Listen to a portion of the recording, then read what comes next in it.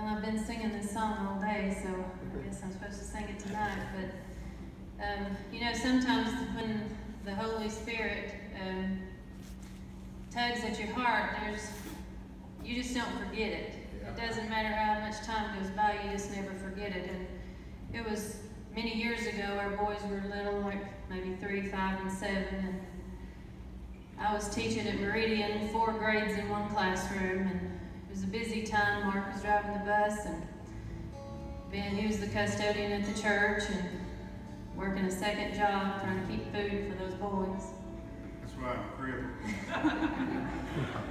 and uh, it was one morning that it was. We tried to leave like 7:15, and had to get the diaper bag ready, all the five lunches ready, and everything. And I was rushing around trying to hurry up, and um, the Holy Ghost of Heaven tugged at my heart, and He said, "Jan, you're doing all this stuff in my name, but you're not even spending time with me." I was working so hard, but I didn't do personal Bible reading. I didn't get on my knees in prayer. And I just had to stop. And there's a, a time where I just had to remind myself and just spend time thanking the Lord just for saving me. So this song came from that experience.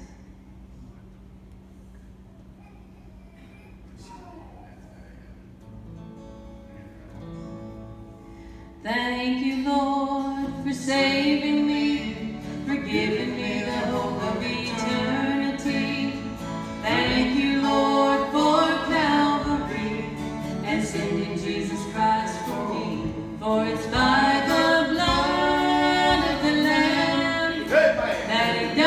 see me